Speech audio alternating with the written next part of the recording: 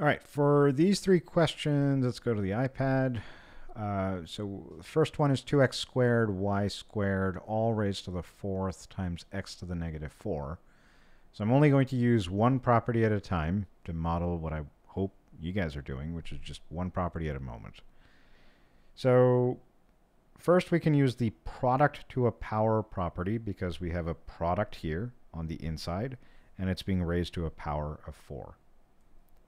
The product to a power property says that I basically have to apply that power to each of the three terms, or however many terms we have on the inside.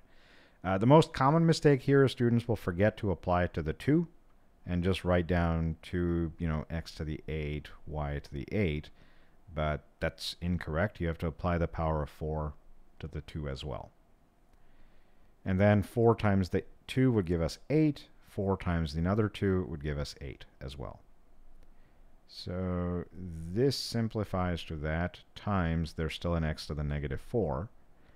And now for the x's, because they're being multiplied, I can use the product rule since the bases are the same and I'm multiplying the terms.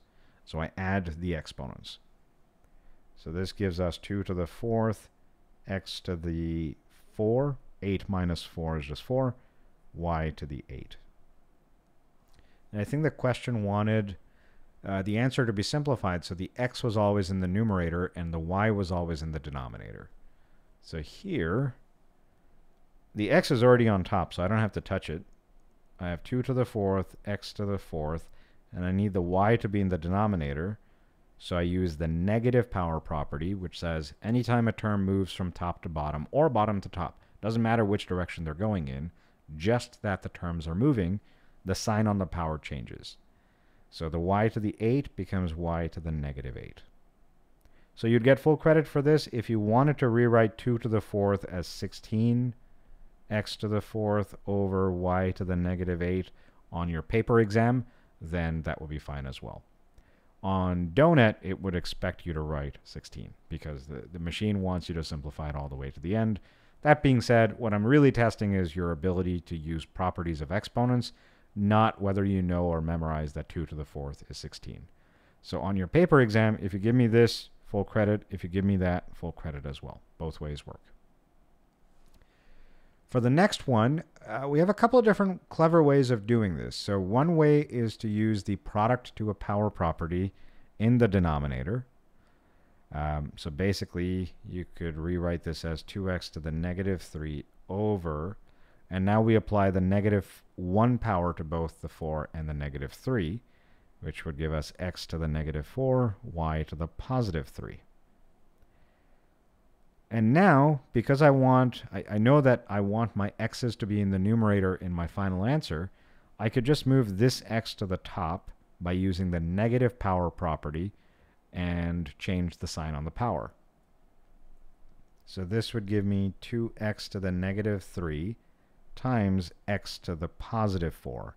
Because when this x to the negative 4 goes to the numerator, the sign on the power changes, which makes it a positive 4, over y to the third.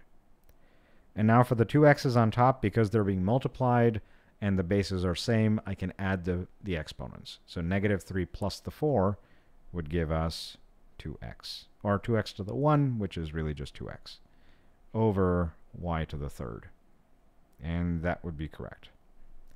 For this last one, we have, again, a couple of choices where we can start. Uh, I think to simplify the problem would always be a better idea. So y to the 0 is 1.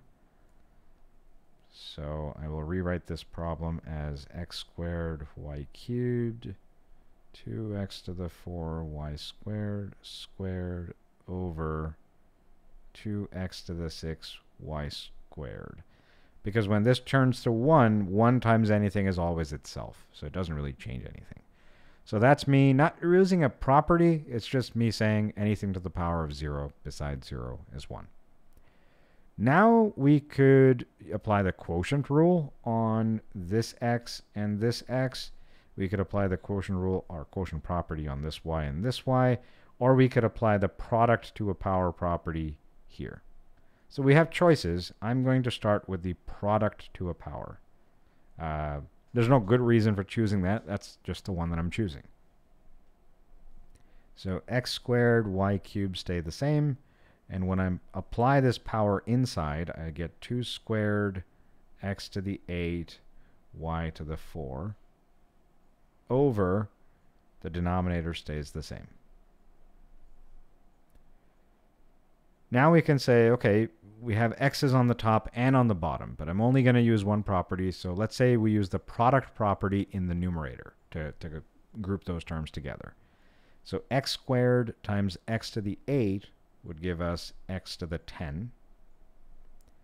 I have, oh, I forgot the 2 squared, so let's put the 4 out front. So 4 goes there, this 2 squared is going here. And then we have x squared times x to the 8 gives us x to the 10th. Then we have this x to the third and this y, I'm sorry, y to the third and y to the fourth. Multiplying those two gives us y to the seventh by the product property. And the denominator stays as 2x to the 6 y squared. At this stage, we can use the quotient property. So 4 divided by 2 is just 2 x to the 10th divided by x to the 6th is x to the 4th. y to the 7th divided by y to the 2nd is y to the 5th. But since we need the x's on top and y's on the bottom, we can rewrite this to be 2x to the 4th over y to the negative 5th. And uh, I'll make a second set of videos now.